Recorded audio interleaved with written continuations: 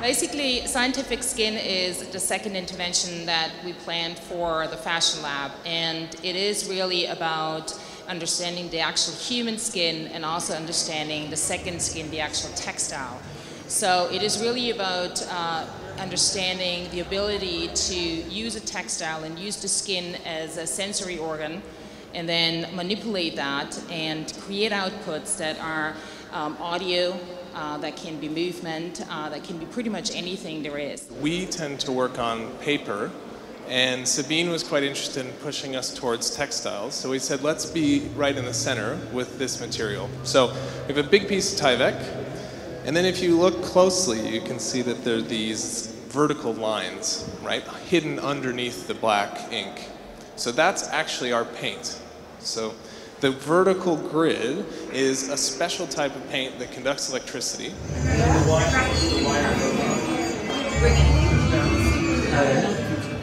my part of the piece is really about the hidden sensors underneath it all and what it connects to, which is this circuit board. Fabio and Alicja have taken it and used it to control a soundscape, but if you wanted to, you could turn on the lights or you could ring a bell, whatever. What we wanted to do is to uh, create a metaphor, as Sabine was already introducing and Matt uh, confirmed, about um, how to make this structure connected to become a metaphor of a body.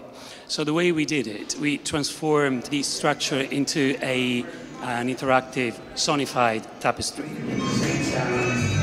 The way that we create the metaphor for music is by using a process, an algorithm that does granulation. Granulation of sound means that we take a little piece of sound of one of the samples that we recorded and we interpolate that one to the original sample.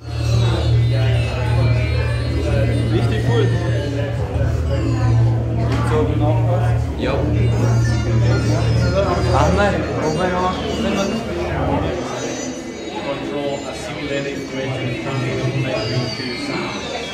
That's right that's something. That's something.